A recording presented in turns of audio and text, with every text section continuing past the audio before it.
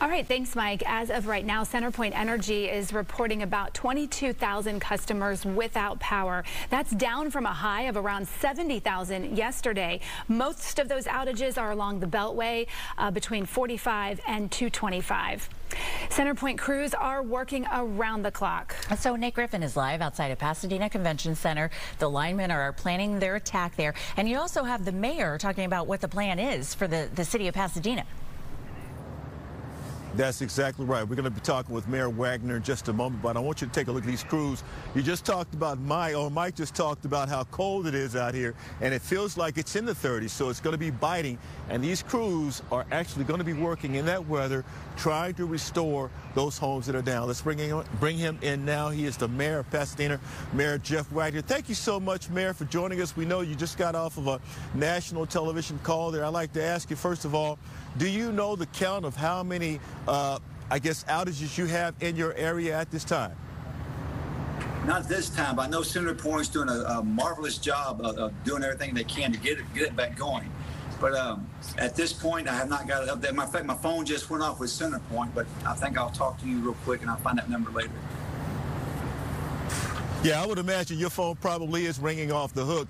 Can you tell us what the plan is, and do you know about how long it's going to take to get all of these homes that are down right now restored?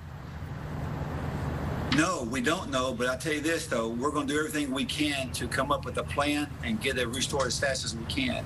Um, again, we're just so thankful that no one was uh, seriously injured during this. And again, as you're out here in Pasadena, you see the uh, the damage. It's, it's, just it's just a miracle that no one was was, uh, seriously hurt or even killed, and we're very blessed by that. Because we can't re rebuild life, but we can rebuild the buildings.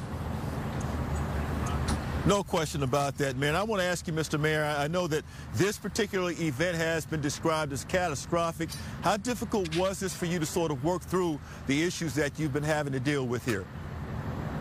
I'll tell you this, we were in the neighborhoods yesterday and just talking to some of the families, looking at some of the kids when they came home from school, seeing their house was completely gone.